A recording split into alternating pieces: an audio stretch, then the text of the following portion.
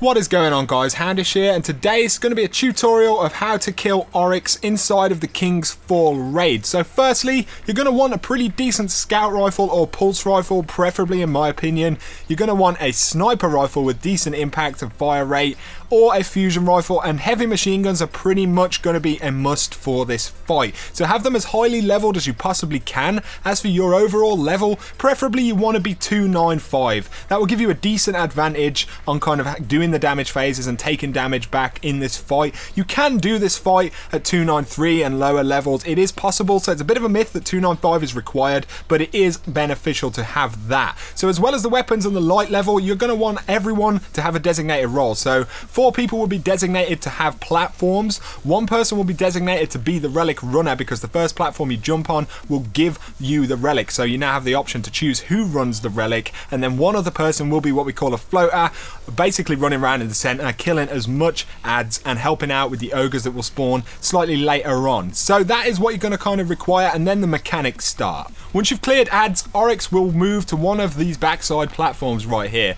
He's going to slam his fist down. This time, the relic runner can be designated by your team. So someone is going to jump up, grab that orb of light on the first platform, second platform goes up, third platform, and then fourth platform. Just like the Death Singers, the relic runner can now go do his thing.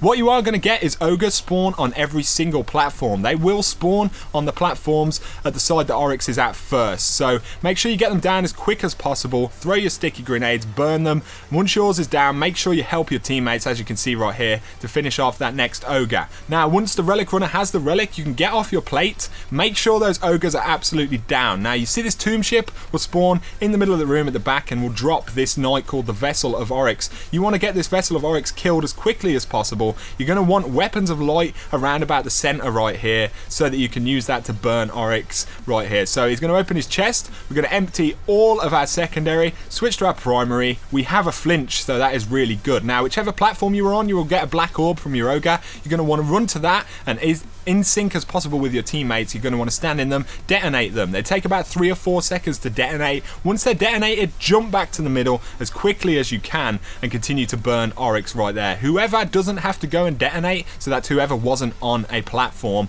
is just going to want to stand in the middle with the relic guy and continue doing damage to Oryx while you do this. So now the first phase for us is complete. After this, Oryx will spawn at the back of the room right there, and he's going to actually fire these kind of white orbs at us, which will do damage to us and actually kill us if they catch us. So as soon as you see him, go back to your own individual platform and just begin to run around in circles. This will allow you to evade kind of whatever it is that is chasing you right there. Whoever had the relic and is kind of being the floater and killer ads in the middle is just going to want to kind of find a spot at the back of the room and run around in tight circles and this will allow you to kind of escape this damage. So you just keep going until it kind of uh, disperses. You will kind of see when it disperses. It will stop following you and your teammates can shout that out. You will get knights on the platforms as well during this process. So once you're done, make sure they are killed. Now, as you can see, Oryx is going to dupe us out and he's going to move to this front right platform. So just make sure your Relic Runner and the other teammates are ready on their platform as soon as possible. He's going to slam his fist right here.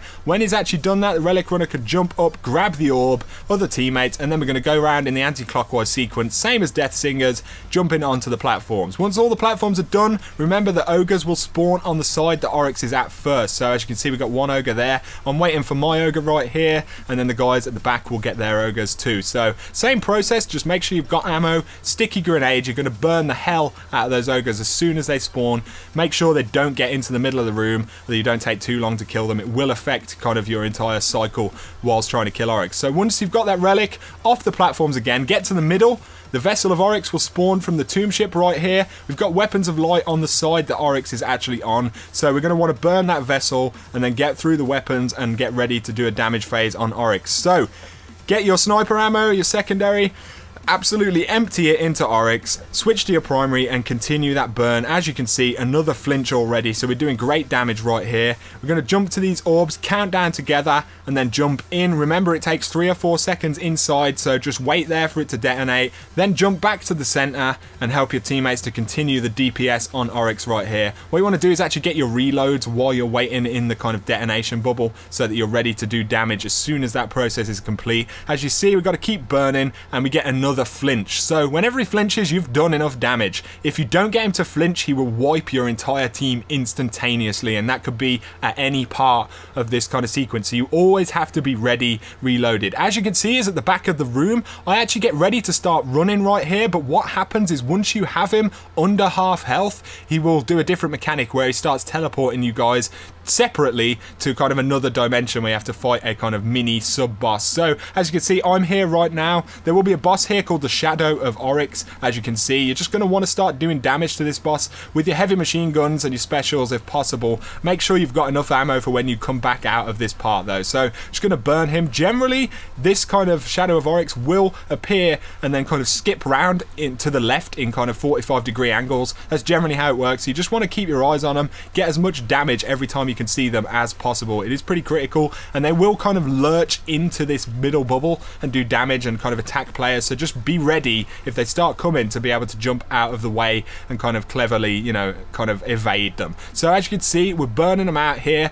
We actually managed to get them down. Now we're going to spawn back into the room and we've got another cycle of that original phase coming up. So everyone onto the same platforms again. You've got the same relic runner and you have the same person in the center who is just focusing on ads and ogres. So as you can see, we're all getting on our platforms ready. Oryx is actually spawning on the back right now. He slams his fist. Relic runner's going to jump up first, then the second platform, then me on the third, and the final platform will jump up. Same as Death Singers. It's a very important part of the mechanics. So now we've got Ogre spawning at the front side where Oryx is. So us at the back just need to kind of be ready for our ogres to spawn. Same process, burn them as quickly as possible. You don't want them hanging around or running off to the center. It will cause you no end of problems. And also you want to keep those black orbs they drop to the sides as well. If you kill them in the middle, the black orb will be there and chances are someone will run through it by accident which will mess your process up. So now Relic Runner is in the middle. The Vessel of Oryx has spawned in. So we're going to want to burn that Vessel of Oryx down as quickly as possible. We have the Weapons of Light Bubble up, so that's a pretty good thing. Now now. Oryx is going to prepare to do another damage phase right here. So get your secondaries, burn the secondary out, switch to your primary if you need to, and continue to burn. Now we got a flinch, so as soon as that flinch happens, back to your own individual orbs, count down together and jump in. Now, this is where ad control is kind of important. As you can see, the ads that have spawned at the back actually take me out, so mine does not get detonated right there. This isn't the most critical thing as long as your team can do enough damage. So the teammates right here in the middle are doing the same process as before, just burning Oryx after. As you can see, it takes a teeny bit longer perhaps than before with one less player, but they do manage to pull it off, so that is a really good thing. So now Oryx is under half health. We don't have to worry about him shooting stuff and running around. That mechanic is now gone.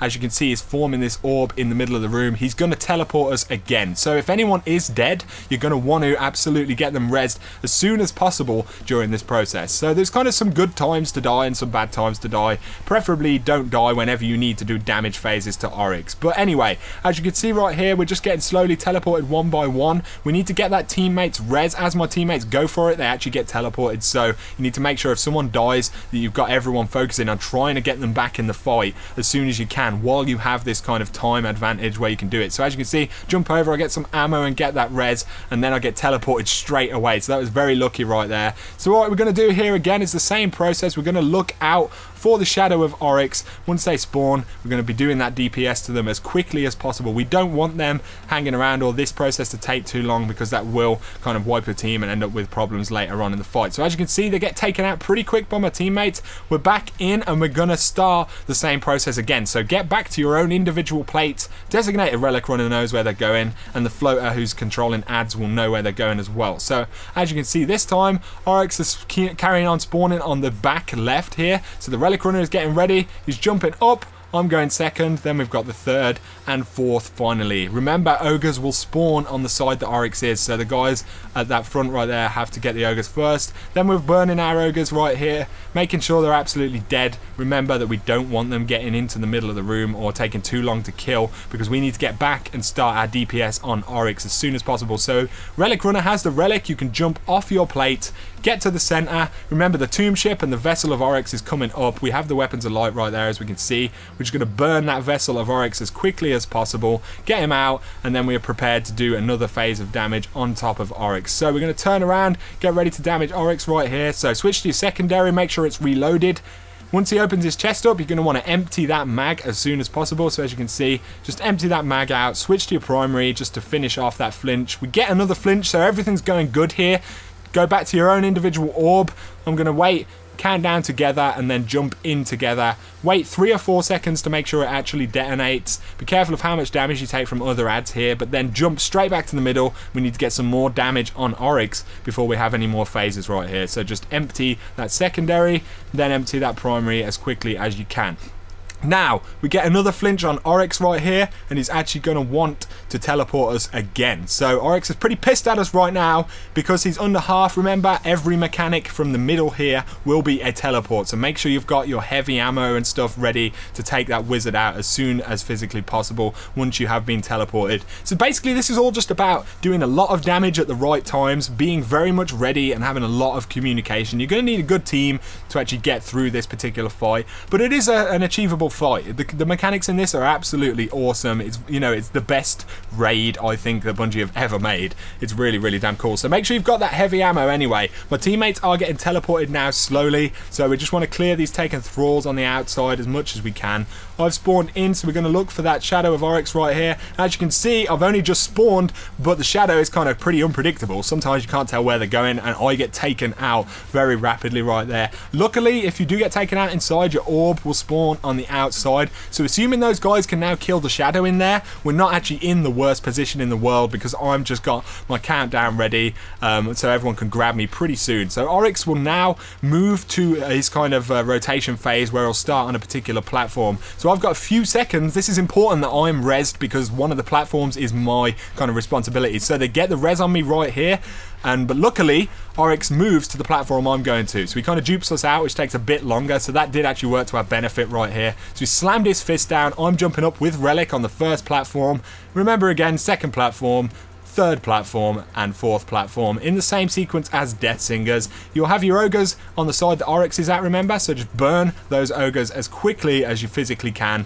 You want them out of the way so that you can get moving once the relic runner has that relic. So as you can see, he's just moving up. He's got the relic right there. It takes him a second so we can jump off our platforms and we're going to jump into the middle again, ready for the Vessel of Oryx at the back side of the room. So we're just going to burn that ogre which got left a little bit too long. I'm throwing weapons of light up right here. We're going to take the vessel of Oryx down as quickly as you can because you need to get those damage phases on Oryx as soon as he allows you to. So get your special out. He's going to open his chest. And remember to be fully reloaded here if possible. So we're going to burn that secondary away. We're going to switch up to primary, continue that flinch. He gets the flinch, so that is all pretty good. Now what we need to do is jump to our own individual orbs, count down, three, two, one, jump in, wait for three or four seconds, make sure it detonates, then jump back to the center as quick as you can, get some more damage on Oryx. So as you can see, he's got very low health right now. We are burning him still, and we're just going to make sure we get that flinch that we need on this particular run.